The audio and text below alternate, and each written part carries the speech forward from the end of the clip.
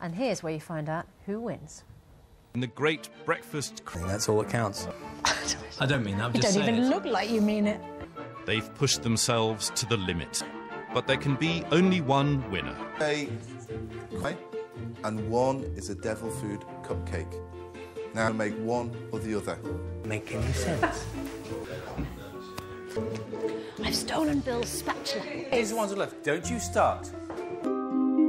Well, with yesterday's Yule log. But with two ch- still all to play for.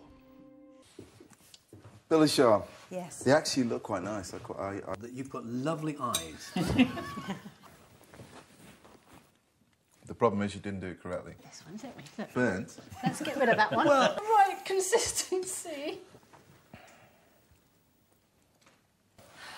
The frosting's good. The... Susanna's pretty good. There's a bat. It's decision time. Now, before I give you my well, well done. Uh, done. Well You pulled it out the bag. Congratulations. Oh. Done the contest. You're my winner. That's very kind of you to say. Eh? Great pace. They cooked an inedible dish and they won. Nothing wrong with that. Never go anywhere near my baby. Tens of thousands of people are expected to take to the streets of Moscow to Sort of. like to think of ourselves as one big happy family. But take us out of the studio into a kitchen, things get a little heated.